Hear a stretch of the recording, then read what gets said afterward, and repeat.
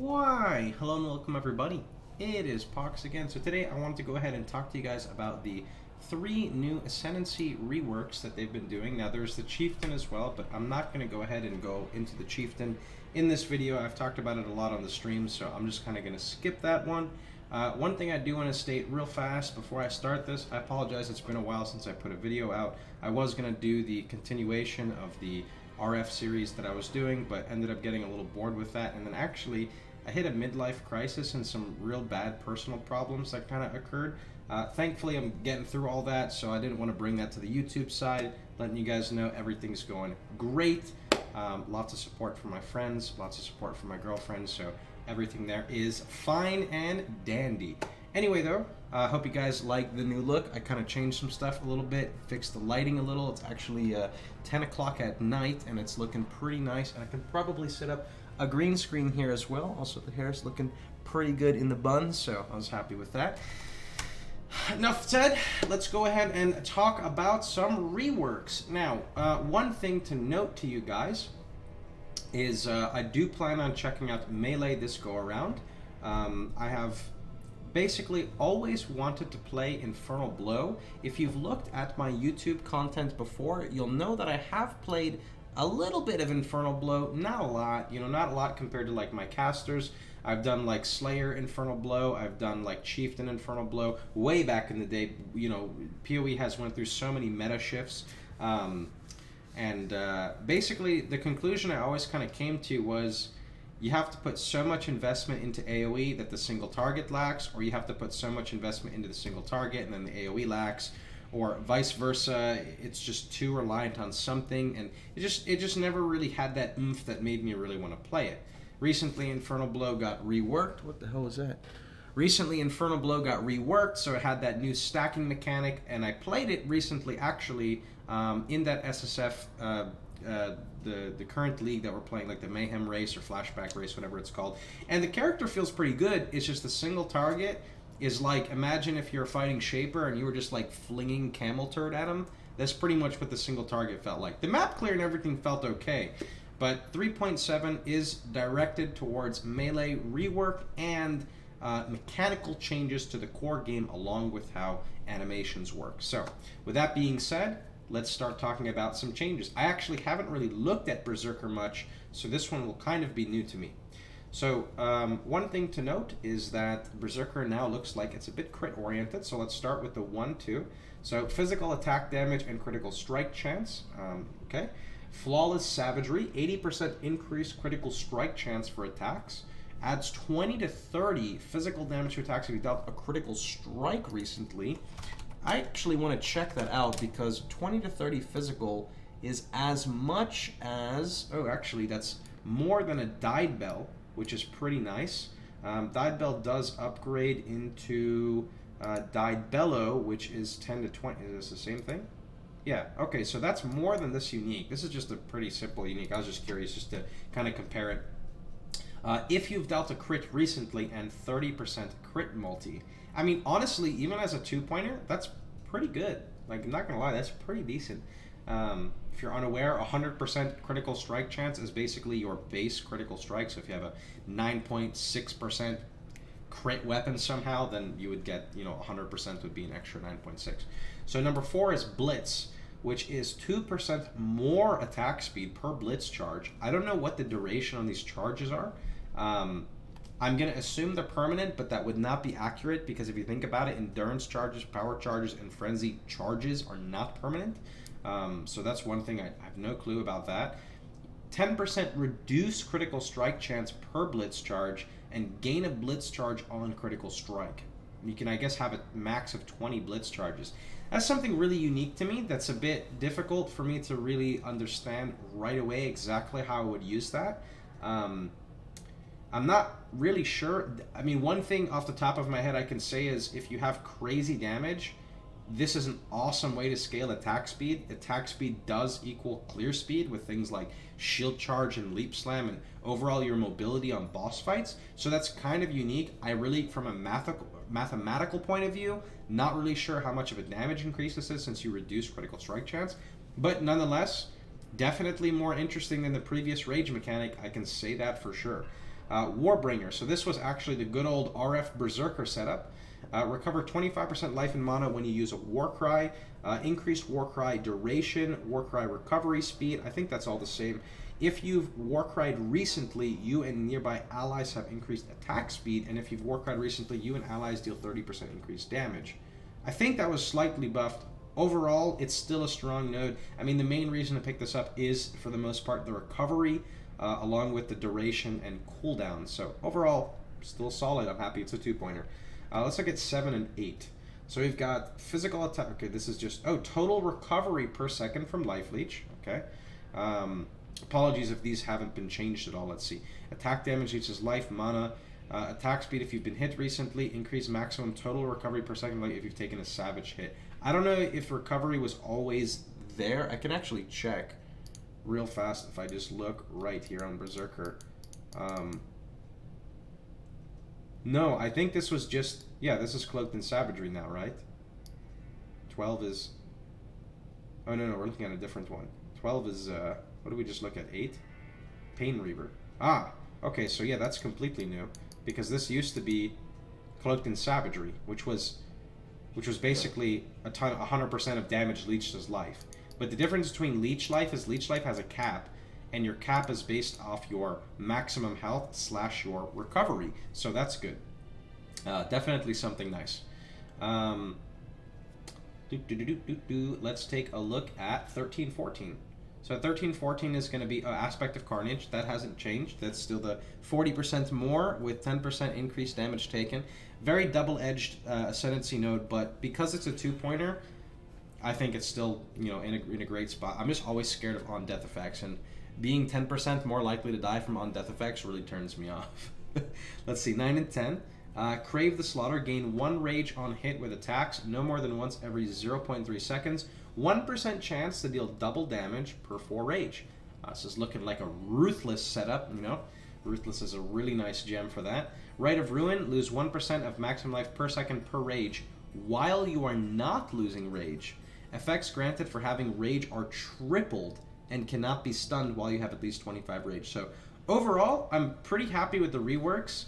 I'm gonna be honest though, I have looked a little bit like Slayer and stuff. It seems like Berserker is more of like you have a build idea already, you have like solid clear, you have solid this, and you really want to take your character to like the next level, or maybe it's just shit. I'm gonna say it's not though. Um, it doesn't seem as build enabling as other ascendancies. It just seems like really big, like raw steroids. Um, so I'd be curious to see how this works. I'm really curious on this blitz mechanic, to be honest. Something I'm definitely going to have to actually theory craft with if I want to play it. Um, now, Slayer. This is a god among men. I am among the Slayer hype right now. So before I want to go into the Slayer hype, let's just cover Gladiator really quickly. So um, this one actually, I think, notes what's new, I think. So for the most thing, most part, to note what's been changed exactly with Gladiator, um, I can't tell you everything with Berserker because this one is just like the sheet. It's not like the compare and contrast. The uh, Gladiator nodes are now global attack speed, so they're not just attack speed with one-handed weapons. It used to be 5%, but now it's not. Now it's just 4% attack speed in general. Um, the, the main thing is Arena Challenger.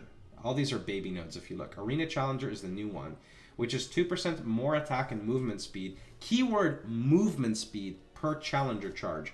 25% chance to gain a Challenger charge when you hit a rare or unique enemy while in Blood Stance. So that's going to be more for sustaining on boss fights. And then gain a Challenger charge when you kill an enemy while in Sand Stance. Um, so that's going to be more for map clearing. Again, on that charge, very curious at what the duration of the charges are. I hope they're permanent. I think that's too much to ask for. Really, the only thing, since I'm a lot more familiar with Gladiator than than uh, Berserker, the only thing I'm sad to see, and I hope that they still change this, is Outmatch and Outlast is chance to gain a Frenzy charge on kill with main hand, chance to gain Endurance charge on kill with offhand. This isn't necessarily bad. It's pretty okay for mapping. The problem is is the is the sustain of this, right? When you get to a boss fight, you don't want to have to keep pressing Enduring Cry, and you don't want to have to manually use Frenzy, because that just I mean, I'm sorry, but that just feels inconsistent. A lot of people disagree with that.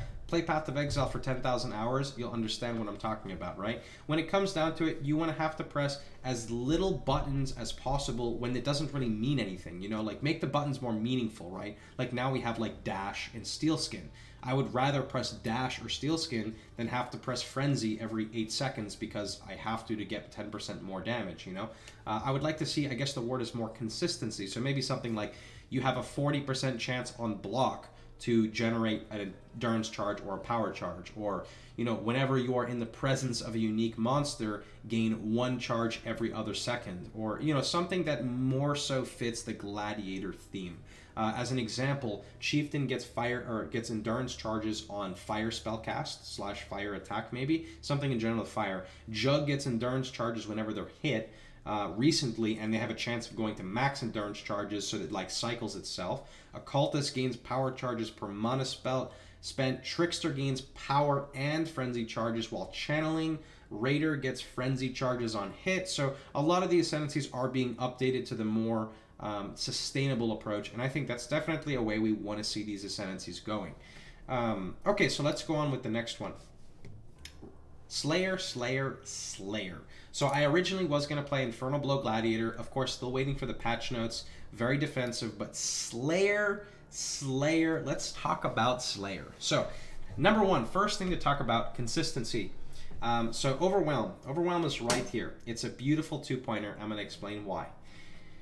Do you hate crafting weapons in Path of Exile? Is it difficult for you to craft that beautiful 8.5% crit weapon with 410 DPS with 2.1 attacks per second with a tier 1 accuracy roll. Well, I hate it too. Does Reddit just tell you to go to Delve and it's super easy, but your RNG sucks? Mine too. Well, here's the solution for you play Slayer. Slayer states the following Overwhelm. Your base critical strikes for attacks with weapons is 8%. No more trying to roll weapon critical strike chance. Of course, if you want to min-max at endgame, respec it when you have an insane weapon.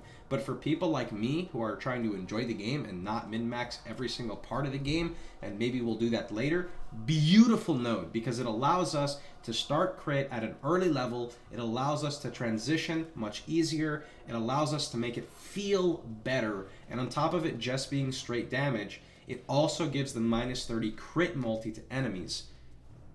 Keyword multiplier. It reduces the critical strike damage of nearby enemies. Very strong. If you want to know how strong that is, there is one node on the entire tree in Path of Exile that reduces critical strike damage, and it's called Indomitable. And if I search here, reduced extra, how many nodes highlight? One. Now there are other ways of acquiring it, and I think you can use jewels, but for just the base, that you got one. So really strong node.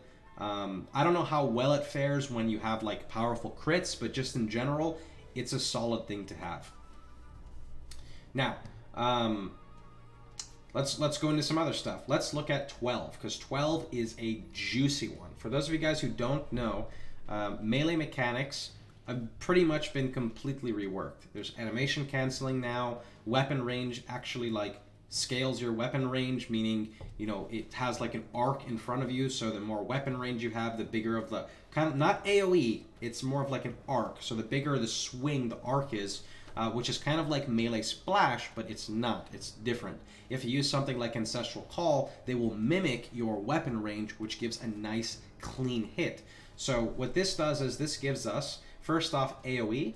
It gives us global accuracy. It gives us melee, weapon, and unarmed attack range. It gives you area scaling per enemy killed and deal up to 15% more melee damage to enemies based on proximity. I don't know proximity being farther away or closer, not sure on that. We've also got Impact for 13 and 14, so this is a new one. Um, oh, sorry, not Impact, Masterful Form. This is a new one that's pretty interesting. I see this more of like an Uber Lab point. So this one states 50% endurance charge duration, 50% frenzy charge duration. Now I told you guys before that I don't like how we don't really have that sustain on charges. I don't like the on hit mechanics and stuff. This one's a little different. It's different because you get 60% duration for your charges, and it gives you maximum endurance charges are equal to your maximum frenzy charges. So yes, this one is not a direct cats are playing. Uh, this one is not like a direct sustainable one, but at the same time, it gives you a much bigger window to help yourself sustain while giving you endurance charges based off your frenzy charges. Well, not well, you know, you can read the note. It doesn't actually give them to you; it just allows you to have that as your cap, um, which is really, really nice, right? Your maximum endurance, char- yeah, your maximum endurance charges, not your endurance charges, are equal to your frenzy charges. Okay, going with the number four now. Um, we've got Headsman. Uh, I don't think this was changed. 10, maybe it was. I don't really know Slayer that well. 10% more damage if you've killed recently. 20% more damage against unique enemies. Um, this is looking super nice for Infernal Blow since single target was our issue. Uh, then we've got Bane of Legends. This one I do know was changed. Kill enemies that have 20% or lower life when hit by your skills. Uh, it is important to note that Slayer nodes were changed to global. They're not two-handed anymore. You can play bow with it too. Um, so this gives you cull at 20% or lower. I think that was always there. Also gives you 20% attack speed for 20 seconds when you kill a rare or unique enemy. So that's up 100% when mapping. Gain 20% increased movement speed for 20 seconds when you kill an enemy. I would probably say 20% of bosses in Path of Exile summon an ad. There is a 100% chance guaranteed that there is a blue pack in every boss room for the most part. We're not talking about like Uber Elder and Elder and Shaper, even though they spawn ads, but you know, just a general map boss. So this is awesome. This is this is I, I'm actually so blown away that GGG actually realized that they should like put movement speed on just an enemy and not a rare because I'll tell you what, it feels really bad to play a super fast ascendancy and then go to a super slow ascendancy. So I'm really happy to see the movement being easily accessible now. Um, like for example, Gladiator has that movement speed now. If you look, Jug has passive movement speed. Saboteur has passive movement speed. I'm just really happy to see the move. We're not even talking about Raider and Deadeye, but I'm happy to see movement kind of adding. And I know Slayer always had movement speed, but the difference between this movement speed is this used to be Onslaught, which means now you can have Onslaught with Bane of Legends. So that's an extra 20% movement speed added to the Ascendancy, which is 40% movement speed now. If you want an example, Onslaught plus 30% movement speed boots is 50% movement speed, assuming you have Art of Gladiator, which reduces the movement speed penalty. So 50% is what you're moving at. If you have a Quicksilver, you're at 90%. If you have a perfect Adrenaline Quicksilver, you're 120%. This puts you at 140%. If you have flask effect, that goes up more. If you have movement speed multipliers, it goes up more. So every bit of movement speed really does make a huge impact, in my opinion, when you're playing Path of Exile. So next up we have 7 and 8. So Endless Hunger. 20% of overkill damage is leeched as life, cannot be stunned while leeching. You are immune to bleeding while leeching. I don't think that's been changed. Uh, and then 9 and 10, which is going to be uh, Brutal Fervor. So 15% of attacks, or 15% increase attack speed while leeching. Life leech effects are not removed at full life. That was pretty much the main reason to grab this.